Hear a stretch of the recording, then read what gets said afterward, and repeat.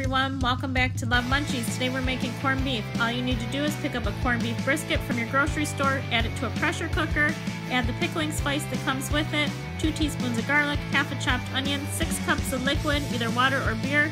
Cook it on high for an hour and 10 minutes, release the pressure, and voila, you have the most delicious tender corned beef. It's perfectly cooked. You can make sandwiches or salads or corned beef and cabbage. You gotta try this one. Have a great day.